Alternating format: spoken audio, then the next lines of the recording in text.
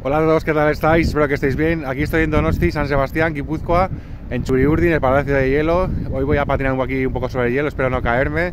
Aquí tenemos el estadio de, Anoeta, que, ahora es Real Arena, de la Real Sociedad, está aquí. Aquí hay otro campo de fútbol y allá arriba está Iyumbe, que es hay una plaza de toros y antes había zona de marcha. Y está muy bien, espero que os guste. Esto es lo que se ve.